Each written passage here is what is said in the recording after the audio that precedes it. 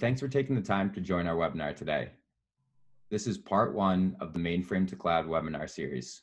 In this series, we share our secrets on how to successfully transition mainframe applications to the cloud so that you can retire your legacy systems that they are currently running on. If you have any questions, we ask you to put them in the Q&A box and we'll try to answer them at the end. Now I'd like to introduce the host of this webinar series, Walter Sweat.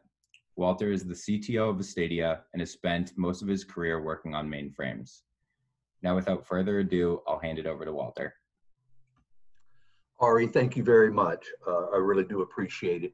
And thank you everyone for taking the time out of your busy day to join our webinar today.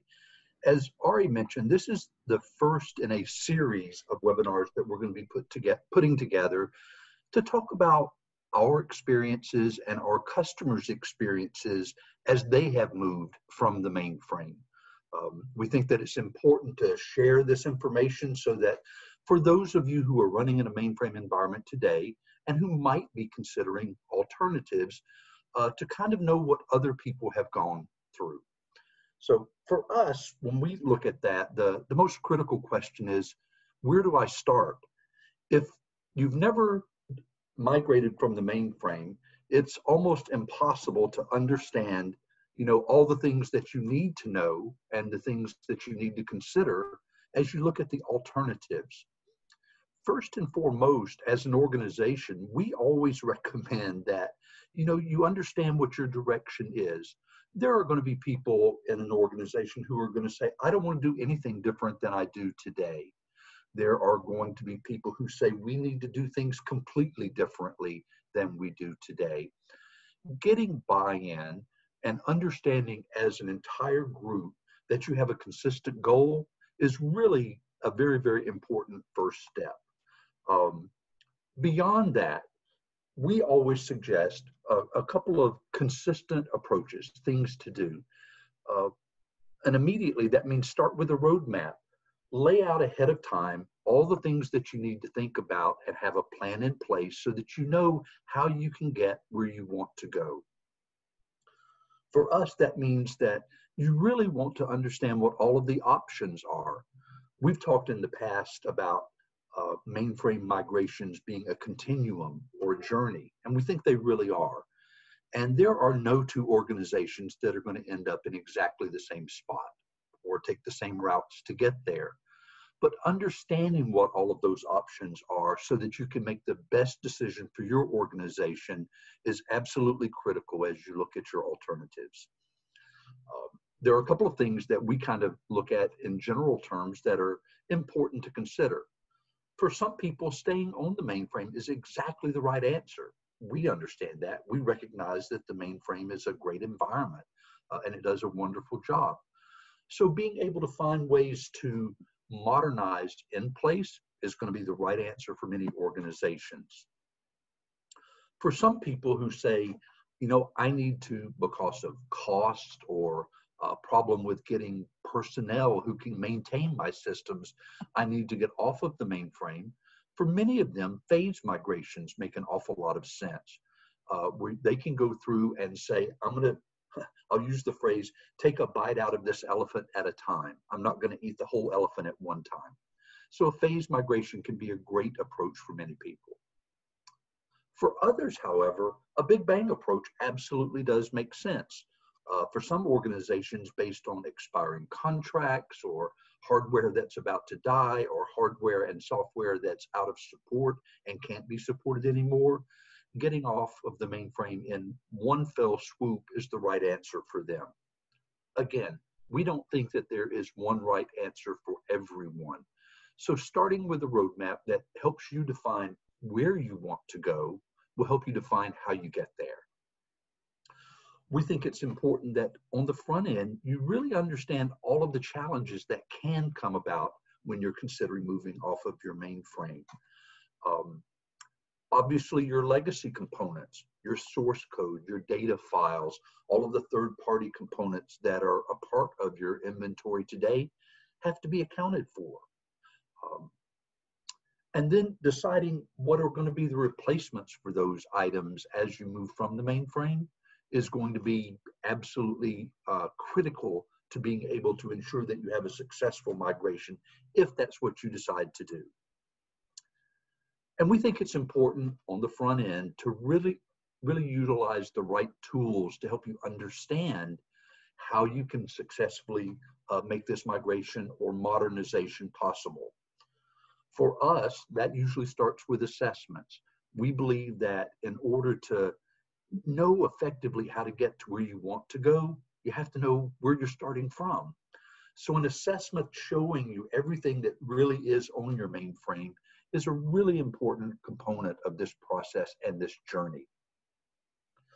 And discovery, not just doing the uh, the counting of items, the knowing the numbers of artifacts, but understanding the relationships between them as they exist in your current environment so that you can understand what those relationships need to look like when you do your modernization.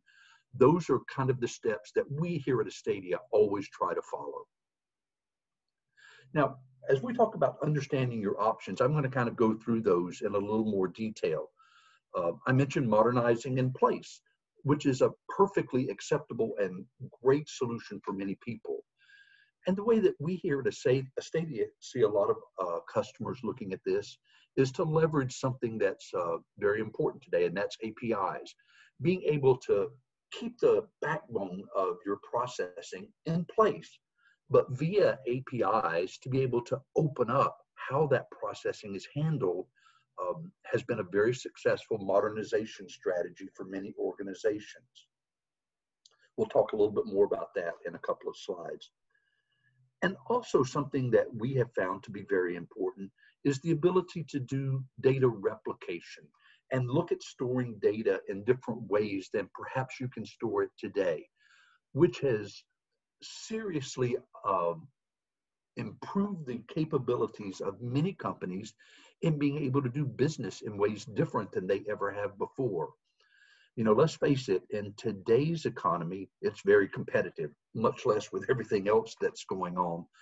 But organizations, your competitors are responding quicker and quicker to changing business needs, and you need to be able to do that as well.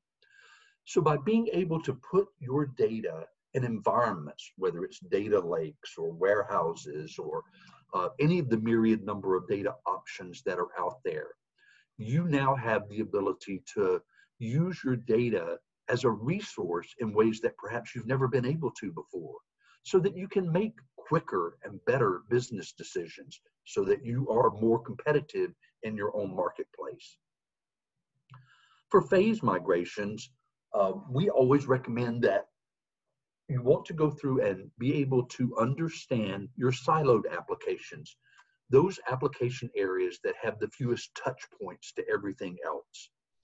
There, there is no one easy button that you push and things just automatically happen, as we all know. Uh, but by being able to minimize the number of touch points between applications that you're looking to modernize in different ways or to migrate off of the mainframe, um, it increases your chances of being able to do it successfully and on schedule. So looking for applications that don't have touch points back to applications still running on the mainframe or data that's still going to stay on the mainframe. There almost always is something that you'll have where you'll have to uh, create a method to handle those touch points, but minimizing the touch points is critical. For people who are doing big bang migrations, there are a couple of components that you always want to think about going ahead of time. Big bang means it's probably going to take a, a little longer to see some of the benefit, whereas the phase migration, you'll see smaller successes as you go along. With Big Bang, um, you're going to have a situation where you're not going to be able to stop doing development. You'll need to continue to be able to make changes to your applications, uh, structures, and the components that exist on your mainframe today. So you need to plan ahead of time for how you're going to do those retrofits. If I start moving everything over and then I'm changing a program four or five times during that process, you need to have a plan in place that allows you to ensure that those changes end up all at the same place at the same time, doing what they need to do just as they are on your mainframe today. The other thing that we always talk to clients about is that it's imperative to kind of get a sign up. Everybody needs to be on the same page to say, you know, during this time, we're going to minimize the number of data definition changes that are going on while we're doing a migration or modernization effort. You can't be changing structures willy nilly um, while you're trying to do this migration effort. So it needs to be an agreed upon platform that those kinds of changes will be held to a minimum. Um, and getting people to sign up on that on the front end is critical. Talking about modernization in place, APIs and data replication, the API economy is a real thing out there today. In this marketplace, there are a, a large number of options that exist that allow people to, as I mentioned before, leave their core backbone processing in place where they can leverage what they are always been able to do, but to do it in different ways without having to write new programs. In some cases, you don't use any code at all to be able to leverage the API economy. And an API is just an entry point that says the mainframe does everything well that it does today, and it will continue to do that, but I can interface to it in ways that are different than what I would have done 25 years ago when I first wrote those applications. I can create interfaces to mobile and social uh, media today from the mainframe. I can leverage big data and cloud processing through APIs. Um, I can leverage data replication in the cloud so that I can take data that was in VSAM and move it to a relational model so that I can do different things with it. All of these modernization in place strategies are very, very effective, and they are perfect examples for many organizations. For people who do want to move from the mainframe, though, as we talked about phase migrations, graphically, this just kind of represents what I'm talking about. This is a, a scattershot diagram showing the relationship amongst various components in a mainframe application. Uh, as we look at this, I'm going to move my mouse and hopefully you can see my cursor moving. We can identify that, you know, just by looking at this, that this little application here is more dense and more complex than perhaps this little application area at the top, which doesn't have as many touch points. These touch points, these interfaces into and out of the scattershot diagrams are the things that we want to look at and understand as we consider uh, that we might want to do a phased migration. Well, here's a completely different picture, obviously. This is a much more complex application set. And if you think about, and I want you to think about, um, as you look at your alternatives for mainframe modernization and migration, what are the risks that you want to avoid? Well, one of the most important risks is you want to avoid upsetting your business rules. You don't want to change things from the ways they've always worked. You have to protect the integrity of your business rules. So, looking at much more complex areas with hundreds or thousands or tens of thousands of touch points, if you go through and re architect that completely, there is a risk involved, we think, uh, in doing so. So this might be a prime candidate to say, I want to consider just taking this and moving it to another environment, the cloud, but I'll keep the architecture basically the same. Again, there is no one right or wrong answer for everyone that we'll talk to, and your environments will be different than everyone else's. But kind of understanding what the options are is critically important as you move forward. Um, and we talked about retrofits and data definition changes. This is where it gets to be really critical, especially data definition changes as we look at this. If you consider you're moving everything over to a new environment and in the middle you start to change what a SQL table looks like or a VSAM file looks like, there is a large density here of things that will have to be changed and you want to account for that. That's one of the reasons that we would always recommend looking at Big Bang different than some of the other options that are out there. I mentioned that we think it's important that you understand the challenges you're going to face, and there will be some, there always are. Um, understanding your legacy components. Um, as I said, the inventory of what you have. And it mystifies me the number of organizations we have the opportunity to talk with who truly don't know everything that they have running in their environment, which is kind of a good news, bad news thing when you think about it. The bad news is they may not know that it's there. The good news is it usually means that it was something that was written way in the past, 20 years ago or more, by someone who probably is still no longer with the organization, but it's worked the same way every single day, producing the accurate results. So, by understanding the challenges, recognizing everything that you have in your environment, that's a critical first step. Understanding those legacy components is key.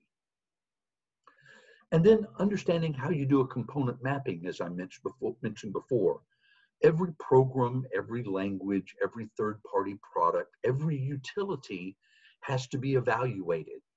Uh, and while it may seem daunting to consider that, it, it truly is a, a science experiment. You go through and define everything that's there, you define what the mappings will be, and find the alternatives. And there always are alternatives. So being able to define that on the front end as you go through this process and realizing you're going to have to do that is an important step.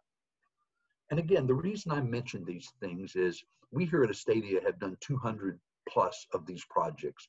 We know that we run into these things. On our very first one, we didn't know everything we were going to run into.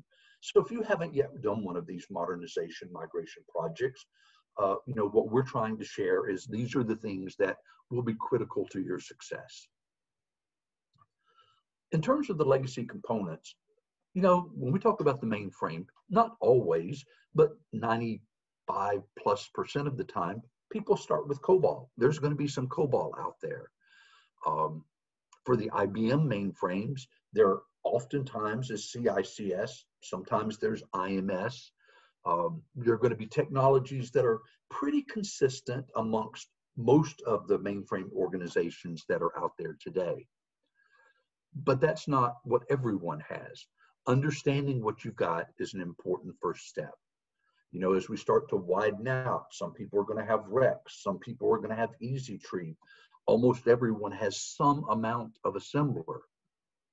As you start to move further out from the core of just a COBOL application, um, you start to see that there are different technologies that come into place. And we certainly have talked to organizations who have used every one of these plus more I think in total, we have uh, worked with over 30 different mainframe technologies that we've had to find solutions for. So the closer you are to this core, usually the easier the solution is for you as you look to do a mig migration or modernization. As you start to come out from that circle and you work with these other technologies, there are solutions in place. What you want to consider though is that if you have a solution that works for part of your environment, but you have to do something different with the other parts, you want a consistent provided solution in the end. You don't want to, for instance, most likely convert um, PL1 to COBOL if in other areas you're going to be converting COBOL to C Sharp or Java, for instance. So finding a consistent solution we think is very important. And then as we go out from there, you know, there are going to be other technologies and you have to kind of understand what's there. We've run into Model 204, UFO, Telon, Power Builder front ends where CICS has been completely removed from an environment, Mantis, uh, Goots. Uh, I don't know if any of you have ever heard of Goots, but I think that there are two existing customers in the world who still use that technology. Um, but understanding what you have is critical to being able to understand where you're going to go. Now, we talked about component mapping. Um, as we talk about everything in your inventory base, all of the components that are there, it is imperative, I feel, to be able to go through and say, what are my options for being able to move forward? So for languages, you know, you can convert. You can take COBOL and leave it as COBOL, or you can convert it to a different language. For databases, you have different options where you can take your data. Uh, we think that it is extremely critical to have a well laid out plan on the front end, defining everything that you have and defining what that's going to look like in the new environment. Um, and then the next topic that we wanted to talk about was making sure that you utilize the right tools as you consider what you're going to do with your mainframe environment. To us, the most critical tool, as I mentioned before, is an assessment to understand where you're starting from. And then the discovery process to come up with a mapping for where you're going to. Um, when we talk about assessments, to me, assessments give you power. They give you the ability to understand what you have today. Uh, what is frightening is if you don't understand what you have today.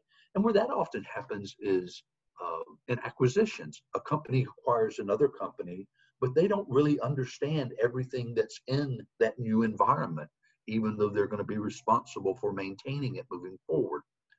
So, an assessment is a powerful tool for those kinds of situations where people need to ensure that they understand what's in their repertoire. It helps you conquer the unknown.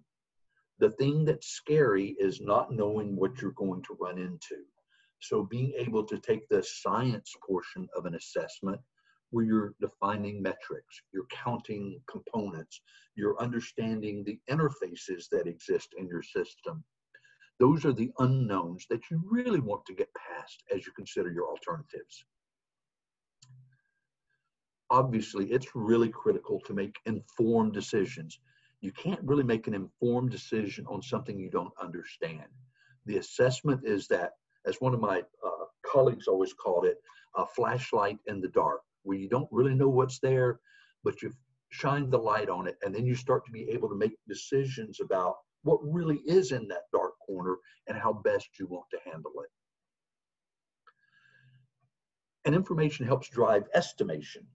Um, one of the things that you'll want to do as you go through this process is to understand what it's going to take in terms of both time and money and resources uh, to be able to consider your alternatives. So the assessment is the driving engine between the uh, the or for the process that lets you understand the real costs of doing a migration or modernization effort. And I've mentioned this a couple of times, and I think it's really true. There is an art and there is a science to an assessment. The science portion really is going through and defining what the number of artifacts are and the way they're related. That's easy. There are a lot of tools that will allow you to do that. Uh, and they will dive as deep as you need to go to be able to give you that information. The art part of the assessment process helps you decide what to do with the information. So once you know what all of the metrics are, what all of the dependencies are, making a decision as to what you do with it. Do I consider refactoring? Should I consider replatforming my environment? Should I leave it exactly as it is and modernize in place? Those are the kinds of things that you want to derive from an assessment. I'm going to just show you a couple of slides from a typical assessment report and the kinds of things that you'll want to consider. Obviously, a, uh, a dashboard that defines, you know, what you have and how many of every kind is absolutely the, the right starting point. But there are other components that are out there that are important as well. So as you look at alternatives, finding a tooling or a partner who can help drive this process for you is really important because it's hard to just develop this all on your own, in my opinion.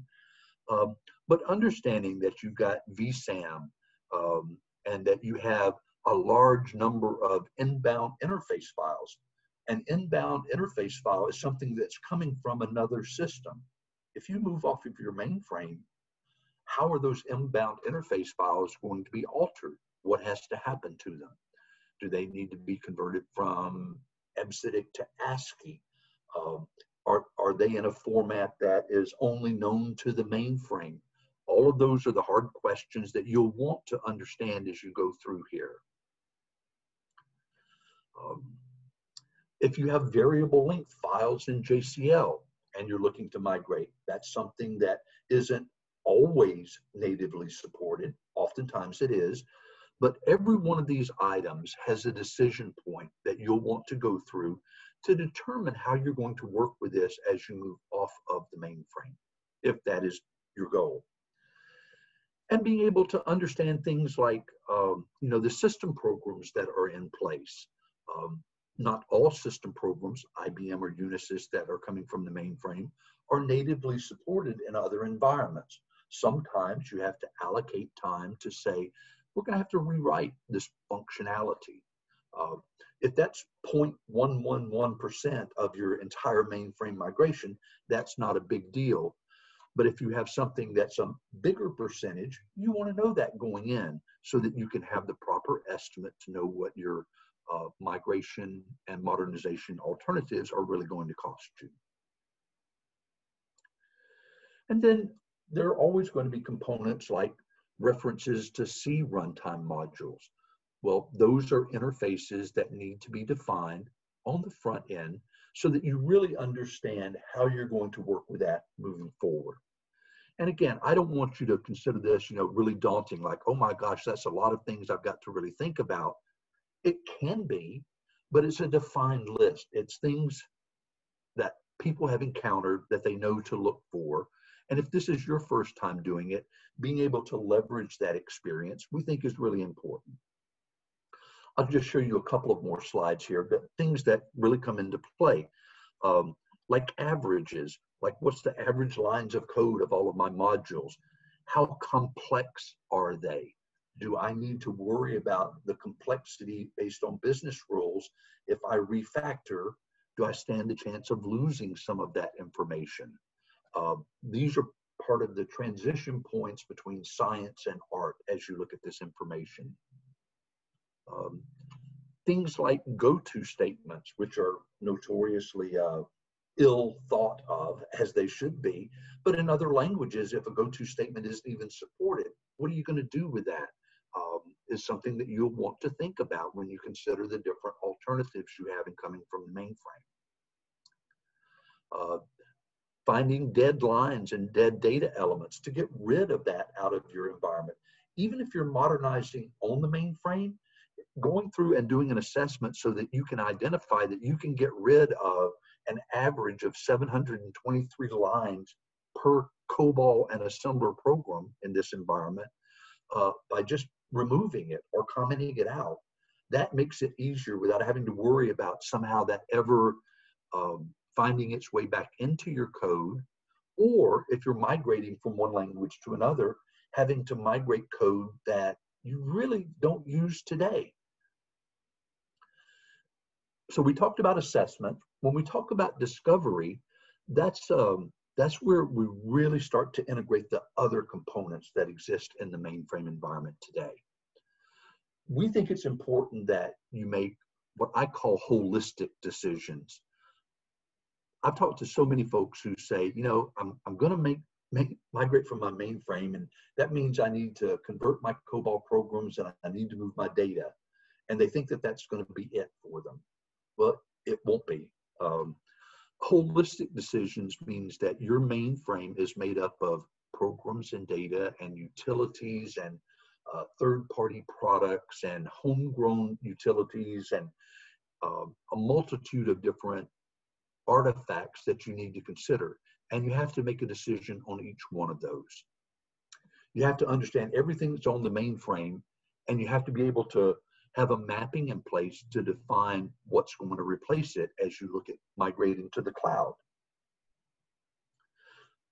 So a couple of the areas that we're talking about, you know, on many mainframe systems, there's accounting and chargeback where they have to account for what uh, amount of time and processing occurs for every department. Well, if that exists on the mainframe, it needs to exist off of the mainframe as well. There can be automation and event management so that you're able to monitor what's going on on the mainframe. You'll want to do that in the cloud as well.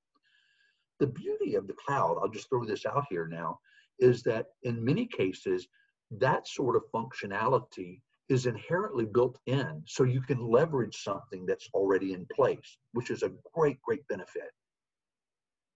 Here's an important one, defining all of the external interfaces that you have in place.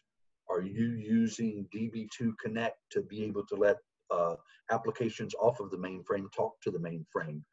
Are you using socket processing? Um, is LU 6.2 part of your uh, portfolio that you have to account for because uh, an LU device is talking to your mainframe?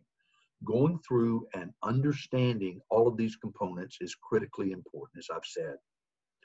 Do you have tapes today? What are you going to do with tapes in the future? Are you just going to leverage virtual tapes? Uh, and you may be doing that already, but this is a part of the process. Systems management. You know, does Omegamon help drive your understanding of what your application environment is today? And then source code management. Uh, you know, how do you keep up with source changes today? There are a multitude of options as you move forward.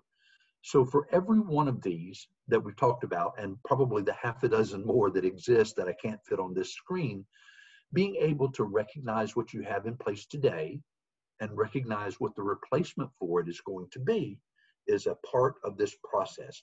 When you took that first step on this journey, this is what it's leading you to to be able to make these kinds of decisions. Um, and other parts of discovery, storage, you know, understanding environmentally, what do you have today? Uh, is it in VSAM? Is it in relational model? Is it in IMS? Um, and having a mapping that says what it's going to be for you as you move to the cloud, that's important. You have to consider things like high availability and your backup environment and what you're going to do for disaster recovery. Um, those are critical elements to be able to have planned in place so that you can define what your cloud environment's going to look like. Are you going to do backup natively via the cloud? Are you going to have VMs running? Those are all the kinds of questions that you're going to want to ask as you start this journey. And then for data, as we mentioned before, you know, understanding what you've got. How do you handle batch processing? What is your batch job schedule? Uh, your online environment, what are the statistics that you'll want to compare to? Those are all critical elements that as you go through this journey, you need to have answers for in place. So in summary, um, we think it's important to define that roadmap. We absolutely believe that to understand where you want to go, you have to understand how you want to get there. Um, and you need to know from where you started. And we always suggest make informed decisions. There's no such thing as too much information about how you can make your decisions in your cloud journey from the mainframe um, a defined process, something that has been proven time and time again, will assist you as you go through this. And most importantly, um, and this is the part that I know I forgot in my first mainframe migration, you have to consider everything that's there. You can't just assume that things take care of themselves. So it is a uh, detailed process that we always recommend that you consider as you look at uh, how you get from the mainframe to the cloud. So next steps, um, we here at Astadia, if we can ever assist with any of this, we would love the opportunity to. Uh, you know, we offer free code assessments. Um, our goal is to help people understand, does this make business sense for me or not?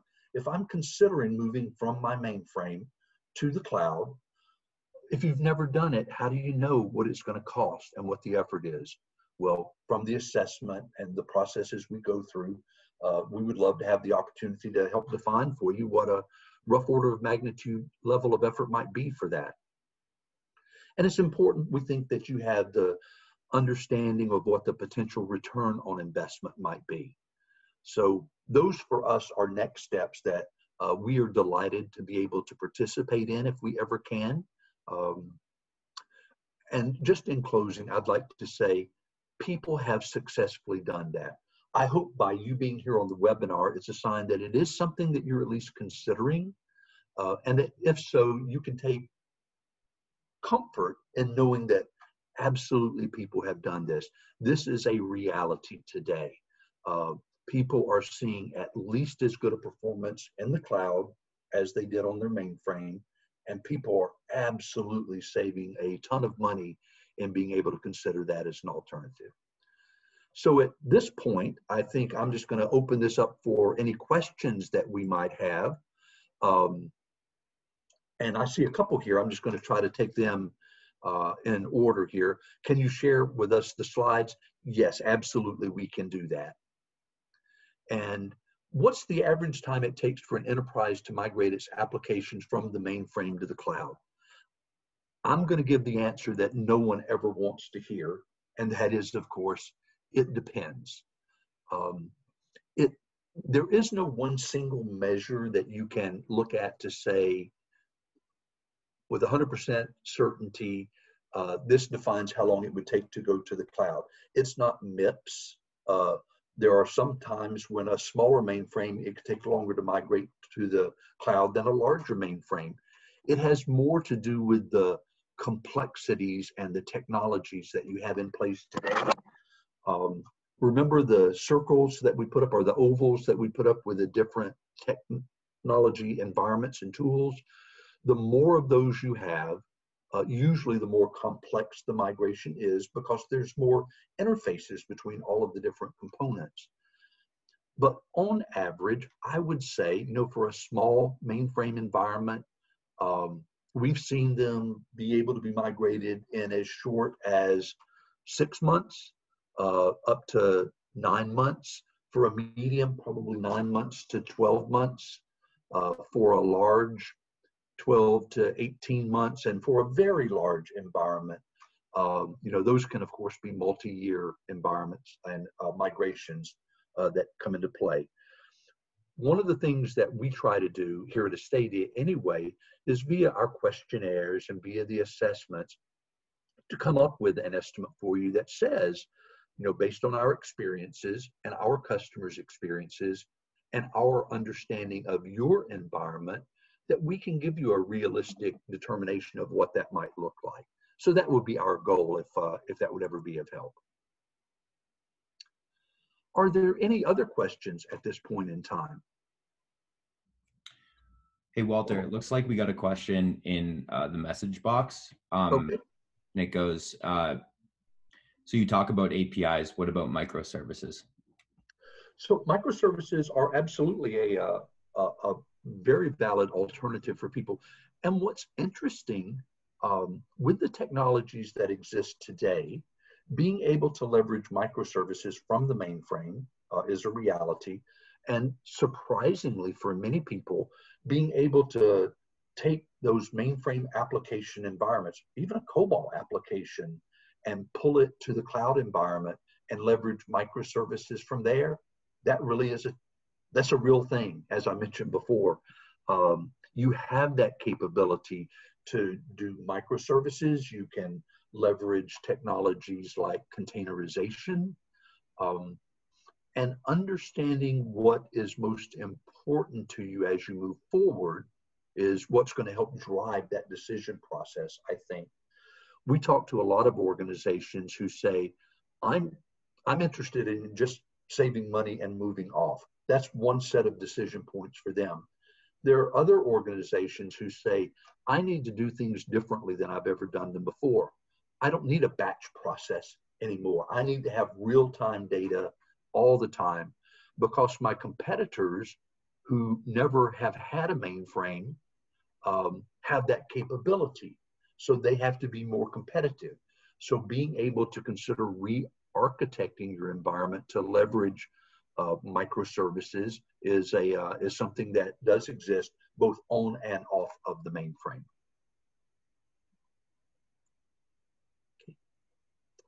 Um, there's a question here about DevOps.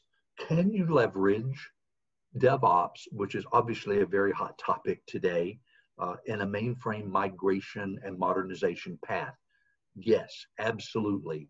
Um, we think that it's critical that people, if they don't have DevOps in place today, and I've talked about being responsive, and that's one of the things that DevOps really generates a benefit for, is to be more responsive and consistent. So if people don't have DevOps environment today on their mainframe, as they start to consider modernization and migration alternatives, being able to implement DevOps as a part of that journey yields huge benefits for them. Uh, one, they're learning how to do it as they're moving along. Two, when they are at whatever endpoint in that continuum or journey that they're on comes out to be, they have in place an environment where they can leverage continuous integration and continuous deployment, where they can take advantage of things like automated testing. I can't tell you the number of uh, organizations and companies we talk to who have no test cases at all in place. And it's a real challenge for them. Their test cases have to do with the programmers who wrote the applications 25 years ago, running it and looking at it and saying, yep, that looks right. Well, what happens when those people retire? Um, you know, an organization like that, in my opinion, is in kind of a dire strait. They have a real problem, whether they have realized it yet or not, uh, or have encountered it. I'm sure they realize it, but it's going to be a situation where they need to have that environment in place. So integrating DevOps into this migration and modernization process to the cloud has a huge built-in advantage and benefit for organizations. Thanks for that question. Okay, well, Ari, it looks to me like we are just about at the end of our time. Uh, unless there are any other questions, um, I'm just going to say to everyone, thank you so much for taking the time to join us today. As Ari had mentioned earlier, this is the first in what we hope to be a, uh, a long series of uh, webinars where we talk about ours and our clients' experiences and what they've been able to do as they've moved from the mainframe to the cloud.